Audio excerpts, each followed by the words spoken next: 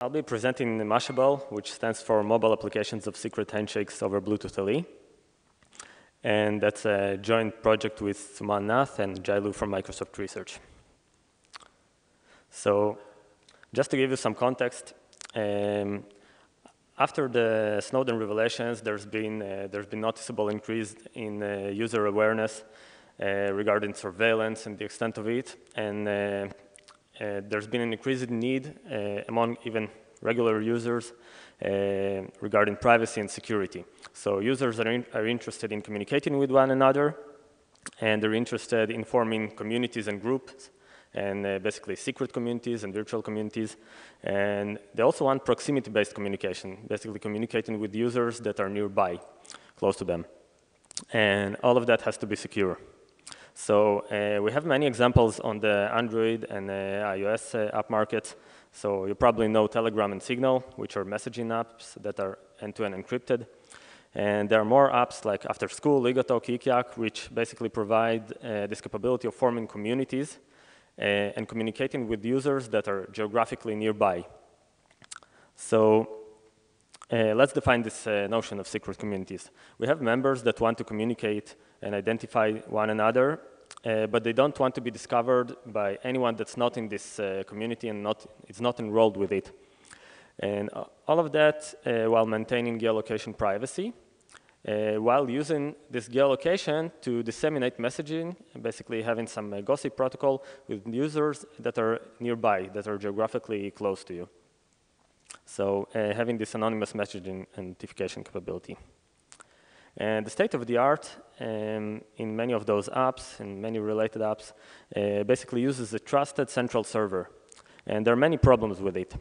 So first of all, this central server becomes a target for attack uh, for um, what's called uh, compulsion attacks, and uh, a, a, powerful adversary that is capable of taking, taking hold of the server immediately gains access to um, either the content of the data that's passed between the users, because if it indicates it's not end-to-end -end encrypted, but definitely to the metadata and knowing which users uh, uh, used to communicate with one another.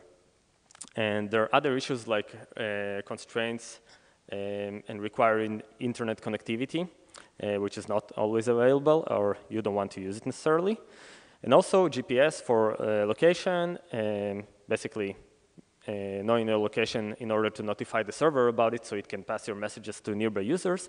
And also the cellular communication to the uh, that's required to communicate with the server are major energy consumption factors. So our goals are to avoid the central server and which suggests uh, using P2P communication and being energy efficient. And using Bluetooth LE, uh, Bluetooth Low Energy, sounds like a good idea.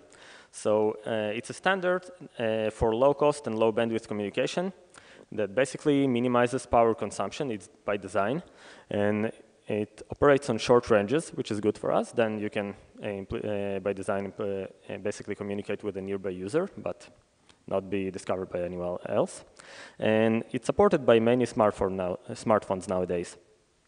Uh, but we don't, if we don't have this central server, there, then there is no root of trust. How do we know that we communicate with somebody we trust?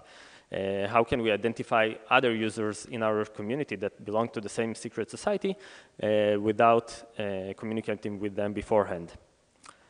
So the problem with trust is this cycli cyclical, uh, circular uh, dependency on the other user revealing his credential first, but the other user doesn't want to do that because he doesn't trust you either, so we're stuck in this loop. Um, so basically, versus this scenario where you, when you say, I'm Jan and I'm here's the certificate for uh, me being Jan. Uh, we don't have it here because we want to maintain uh, our anonymity until we trust the user. So uh, to the rescue comes this notion of secret handshakes. Um, so two parties don't, do not know each other, uh, and they perform a certain procedure, which if it succeeds, if it fails, uh, first, then the parties don't know anything about, uh, um, either, either uh, neither party learns uh, anything useful. But if it succeeds, they get to know that they belong to the same secret community, society, group, um, reminiscent of a physical secret handshake. And cryptographic secret handshakes provide this capability of establishing the respective roles in the group as well. And Uh, so uh, this is a useful uh, thing, and uh, what we use in this uh, prototype is an implementation based on a protocol by Balfanz, uh, and it's based on pairing-based key agreements. So if the handshake succeed, basically you have an established, authenticated and encrypted channel with the other party, over which you can communicate if you want. And if the handshake fails, no information is disclosed. And it's also collusion resistant, meaning if one user's credentials are stolen, they cannot be used to impersonate another user in the group. Uh, also, the credentials are compact, which is important for the implementation and integration on top of Bluetooth LE, because we're only allowed to say, send quite little data. And uh, traffic, uh, uh traffic tracking. Uh, I won't be addressing it uh, because of the time constraint, but it's also addressed by all kind of unlinkability techniques. So uh, let us just introduce this uh, construct of pairings. Uh, so it's it's not so it's not so easy to implement, but the basic notion is pretty simple. So we have this map uh, that maps the inputs into a target algebraic group, and it has this bilinear property which you can see here. And let's see how we construct a secret handshake protocol from it. So we have two parties, Alice and Bob, that do not have to talk to one another uh, and the only interaction they, they need to have is, uh, in order to enroll in a secret uh, group, is interacting with this um, dealer that issues a master secret. Uh, generates a master secret and issues them credentials. So one credential will be disclosed, the pseudonym, and the other one will be kept secret, which is the um, secret for Alice and secret for Bob. And the handshake protocol goes like that. So the parties exchange those pseudonyms, and then they apply this bilinear pairing to derive a symmetric encryption key. And those keys, K and can be by the properties of pairings, and you can check it on the paper, uh, they get to be the same if they were derived from the same master secret. So now they can use this symmetric encryption key, which gives them uh, this authenticated uh, encrypted channel, to perform a challenge response protocol. And if it succeeds, they know, um, they know that they basically belong to the same secret group. If it doesn't, they, it doesn't reveal anything. And one option to integrate it into Bluetooth LE, one proposal is um, to look into pairing methods. And now it's not this mathematical pairing, not to be confused. It's uh, the Bluetooth pairing. And there are a couple of methods. And we proposed a new one, um, which first uses one of the, any one of the methods to generate a short-term key. And from then on, it uses standard uh, messages that are in this uh, defined in the Bluetooth standard uh, to exchange pseudonyms and later on to basically perform the challenge response. And we reuse the same messages that are defined for a pairing, for a Bluetooth pairing. And there are some limitations. So for example, uh, those messages are limited to 128 bit, um, which is not enough to generate enough bits of uh, security. For instance, for a we need more than that to actually map it to 128 bits of security, which is at least what we need nowadays.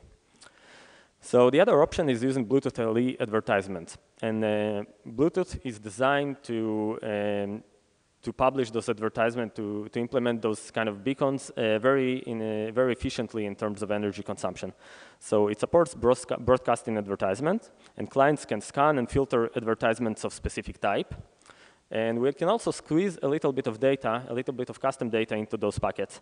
So 32 bytes, but for instance, on Windows BTLE stack, we are limited to 20 bytes. But those 20 bytes will be enough to implement, uh, to achieve 128 bits of security um, in our protocol. So uh, the sc scanning is supported, supported uh, by uh, all common smartphones. Uh, the problem is the advertising. So Windows Phone 10 uh, basically provides good support for it. And the Android, uh, Android devices, at, at, least at the time of the writing, there was an API for that, but this API wasn't useful because there, was, there wasn't actually underlying hardware support for it. And there are different embedded kits. So um, that's one consideration in choice of platform. And another one is easy implementation of pairings because it involves all kind of uh, details of uh, uh, dealing with elliptic curves and uh, choices of parameters. And there's been a lot of uh, research and taxonomy work on that. And you don't want to deal with that. Uh, so in order to implement it quickly. So we had to choose an existing library. And one of the, one appealing option is this Java port of, this, of the Stanford PBC library. PBC is pairing-based crypto. So um, that was appealing, but unfortunately we didn't have, uh, we couldn't use Android. So we ended up with the Windows Phone uh, that supports scanning and advertising, and actually concurrently at the same time, which is important for uh, our protocol, as you'll see. Um, so uh, we based it on the Windows Phone OS, OS 10, and pairings and group operations, the mathematical pairings, uh, were done using the Stanford PBC library, which we ported to ARM, and also written a .NET uh, wrapper so this .NET wrapper is actually a nice side effect of this uh, project because uh, now it enables developing more pairing-based crypto uh, applications for uh, any Windows Universal device, which can be a desktop or a mobile device. And this, the communication between the phones was based on alternation between scanning and advertising and publishing advertisements. So here you can see a diagram that illustrates the protocol. Basically, the advertiser and scanner in this uh, case, uh, they're just nicknames for whoever transmits the pseudonym first or listens to pseudonyms. So the advertiser is the party that transmits it first, and the scanner replies. Uh, so you can see the exchange of messages and the alternation between the scanning and advertisement states um, that serve to implement this uh, handshake protocol you've seen before. And we evaluated this prototype implementation, focusing on functionality and uh, energy consumption. So the first one uh, was done to see that we actually it actually works and we don't have any synchronization issues. So we transmitted uh, more than 1,000 handshakes um, in about two and a half hours. And 96% uh, of them succeeded, uh, basically which is basically a pretty good result. It shows that uh, the protocol is viable.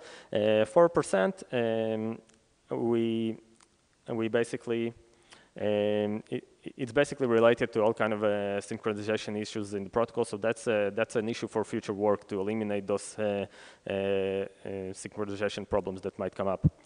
And the energy consumption, the second part of the experiment, um, so the bottom line of it is that compared to the baseline where nothing is going on on the phone, it's just like the baseline power consumption, um, even the most power, uh, power consuming mode, which is scanning followed by a handshake, and scanning is surprisingly or not surprisingly is uh, less efficient than advertising because Bluetooth is designed to do advertisements very efficiently. So even that enables more than 12, of, uh, 12 hours of continuous operation which is pretty good and basically uh, enables uh, uh, having this phone doing it for a whole workday. So, um, and that's that's not like the average uh, case uh, and, and, not the average ways, uh, way you'll be using it. the communication overhead is small, I'm skipping it, and I want to mention two more applications. So one of them is head counting, basically people attending an organized event and you want to count the number of people who attended. And what happens if you want to have a secret event or uh, maintain the privacy of the users attending the event. So current techniques, they basically enable you to track the users or track the event beacon. And those uh, secret handshakes can be useful in uh, protecting against that. And another application is a car control, um, which, in which the car or the user um, that has a mobile phone transmit a beacon or respond to a beacon from a car. So the beacon can be used for localization of the car in a big parking lot or for unlocking the car. And again, it exposes both the, the vehicle and the user to tracking. And it can also, this threat can also be eliminated by using those secret handshakes. So uh, to conclude, um, I'll just repeat that we presented the, this secret handshake protocol on top of, implemented on top of Bluetooth Low Energy. And it provides those uh, provable security and privacy. Um, uh, provable because it relies on this, uh, the underlying technique is provably secure. Uh, there's been uh, uh, many works on it. And it's practical and energy efficient. We can uh, implement it uh, nowadays. We can incorporate uh, this technique on top of Bluetooth LE and enables new application. Thank you.